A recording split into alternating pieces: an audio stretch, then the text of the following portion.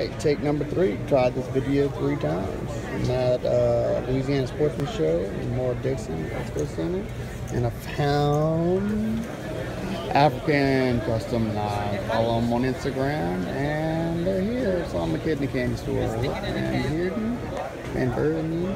Got some DDR pins. Nice, nice pins, Fisher Space pin refills. We got some really custom ones over here and some nice custom African maker folders. They surely know how to uh, make incredible actions. This one's smooth, like no friction, but it's not anywhere near these right here. They're through that. One more time. What what's this one again? Peter Annandale. Peter Annandale. This is a Peter Annandale. Nice smooth G10. Got your blue, got your blue um, liners, and very the finishing work is unbelievable. Nice decorative pivots, and yes, you gotta have a special tool. Super smooth, but these, the ones, the three-legged dog right here, these folders are a pretty big folder. These are all African knife makers, three-legged dog. Let's see, show you on the back. Elmax.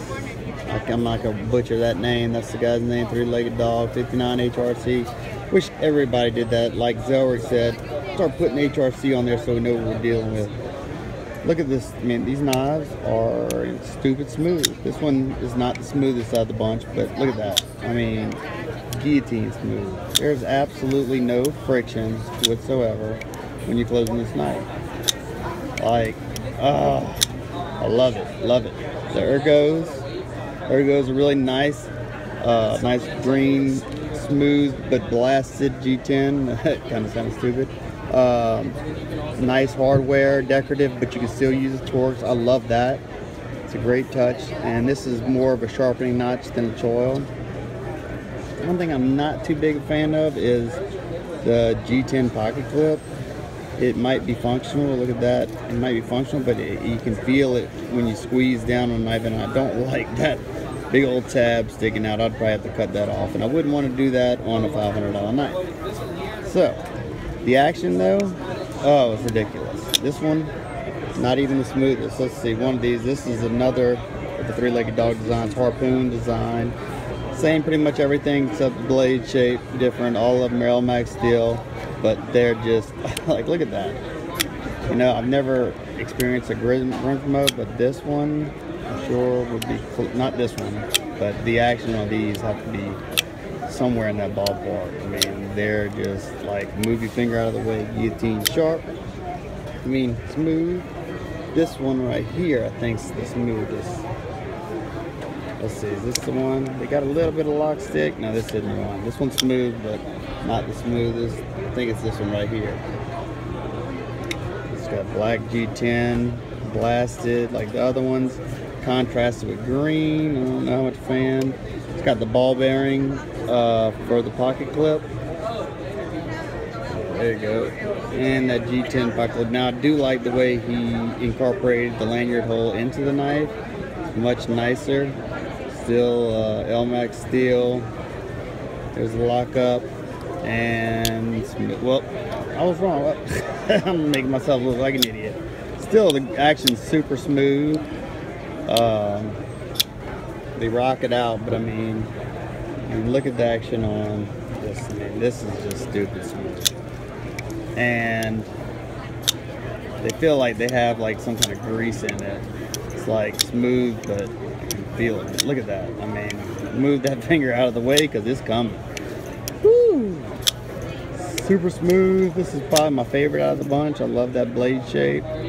Nice sheep's point, sheep's foot, comfortable. I just don't like that and the back clip, but I'm sure they can remedy. Uh, this right here, look at this beautiful handle scales. This is made by this guy, same guy. Got like uh, the regular, you know, finish still left on the blade. All these knives are super thin behind the edge. I mean, like they're like laser beams. super sharp. I, I love this. Who's this one again? That's a Willem Steenkamp. Yeah, Willem Steenkamp right here. You got your uh, polished, polished flats, satin doubles. Super, super comfy with burlap micarta, polished. And it's got red liners. Look at these. Look at this. This this is wow. Like that handle looks like an exotic piece of candy. I just want to eat it. Black liners, so smooth. These are a set of steak knives by Bernard. Yeah, my camera's not not not playing nice today. You got Oath knives, Gem at Nicest Knives. Is this nice knife?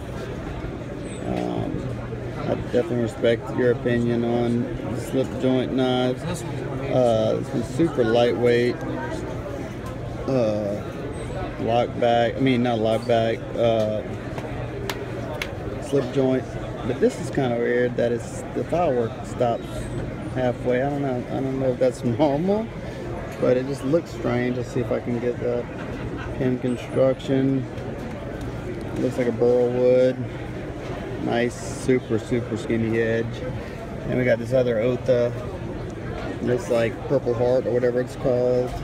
Wood or blood, whatever you call blood wood. Super light. Feels like feels like it's absolutely nothing in my hand. Beautiful. Very smooth yet still has enough friction to keep it open with your finger. Some nice big kitchen knives. Look at this. This is nice. Uh, it's not gonna not gonna check that out. Nice and polished.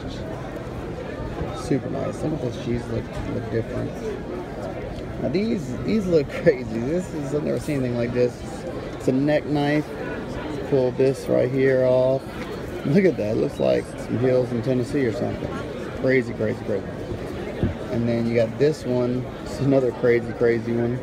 It's got a nice uh, mosaic inlay pin here and here. This is more of a normal shape to the blade, but there we go with the Rockies again. You got your mosaic pin inlays and on the blade. Now, this is a beautiful handle right here. Starts out with a beautiful handle, carbon fiber, and then nice dim steel blade. Pretty sure that's what it is. Uh, the guy's not around to tell me, but look at that. It's super, super thin, paper thin around the edge. Ergonomics are okay on this one. Um, I don't know. Let's see. There's the maker's mark. I can't get it. Don't enough light. And Smith Smith and Son knives, local to me in Louisiana. Love their their that black wash finish is just amazing. It's a great little small, you know, uh, everyday carry knife. This is one of my favorites of their designs now. Uh, it's made in D2 steel. I want to say it's called the Scout or something like that. But I would say this this one right here is really grippy in hands. This one more suited for gloves. This one more suited for bare hands. But look at that. Look at that black wash type finish. I don't know what they do to it. Maybe it's a, um, I don't know, black oxide, then tumbled. But their finishing works awesome. Got uh, hollowed out pins, brass pins. And I think they're all with these D2 steel at Smith and Sons. And doesn't say. I think they're all D2. This sucker is a beast right here. This is a bone chopping, skull crushing beast. Look how thick. Looks like about a quarter inch thick. Super comfy in hand. Feels out the hand great. Different designs. Got that black wash finish. These, the mud bugs right here. I have this one right here. This is the green canvas micarta. Black and maroon. Those are made by GEC for Smith and Now, I don't know, you know, what they do. This this one right here, this fixed blade, uh, it looks like it'd be heavy. This thing is super well balanced and super light, and I also want it. I don't, I don't want to spend that kind of money, but boy, that's so nice. I don't have that kind of money to spend. Look at that nice, it's MSG. handmade knives. Beautiful, beautiful. The sheath that go with it. Here's another beautiful one right here. This one's really heavy though, especially after you picking up that one. Look at that. Look at that wood. Beautiful. I love that. Look at that a hammered finish on that ring. Beautiful. Smith says 850 bucks. Ooh, nice sheath, but oh, I'll put it down now. This is another one. Now, this one's, you know, beautiful too, but you can actually see the hard lines in this knife. I'm not a big fan of that, but, you know, it's, it's beautiful. And it's 850 I'll put that one. And we got some pocket butchers, Andre Degrees pocket butchers. I have this one, and this one is just your G10. No, I think it's uh, Blackwood or whatever you call it. Uh, I'm not sure.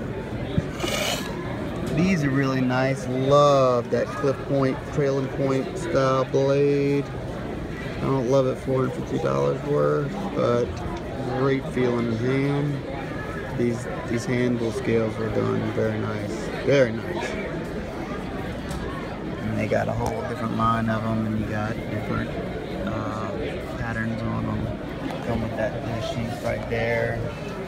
That one's really nice right here. This Bernard, what is it? There it is. I can't. I'm doing this by myself, so I can't get my, my camera to focus. This one is just unbelievable, man. Super thin behind the edge. Nice and skinny. I'll just give you all a quick shot of all those. Quick shot of all these. All these. And these are some pretty interesting neck knives right here. Very, very light. Just some thin, you know, throw it in your back pocket, front pocket. You wouldn't even notice it's there. But they did some beautiful work on it. It'd be the, the hand the hand grip's not the best. I mean, they're so small, you don't really get a good purchase. It's more for like a pinch grip knife. I had to say. I mean, look, they got band-aids because these things are sharp. Look at that beautiful handle.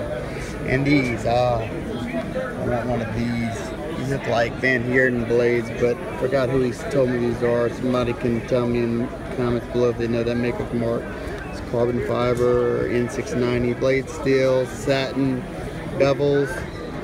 Um, only thing I hate on this is, look at that pocket clip. It looks like something off of a gas station knife. It definitely looks like an afterthought. I love how dark, they did like a bronze, dark bronze uh, on the titanium. There's the lockup. And this is the front flipper, of course, South African makers. And it rockets out. Very smooth. I like the action on that. This is another carbon fiber one. This one's a lot better looking, I think. It's got the blasted Batman bevels and the satin flats. Uh, super, super comfy in hand. And look, the Fat Man would like this. This tip down only, which that, that never bothered me. I don't, you know, whatever way it feels better in my hands, the way I carry it. Tip up, tip down, tip left, tip left, tip right. I don't care just crazy. This is a nice finished brown. I like, look at that. That's got to be a T15 right there. That's a big old ball right there. Uh, they could have did a better job on the sharpening, the sharpening choil. Looks like they got a beard at the bottom of them. But super comfy knife, and this is a custom custom knife, and it's 320. Another front flipper, G10. Alright, and do it real quick. This is the friction folders. I like this one the most. I love that G10. I don't like the bead blast finish on the N690. Wish, wish it wouldn't be like that. These are 150. Um, they got, they come with a little zipper pouch.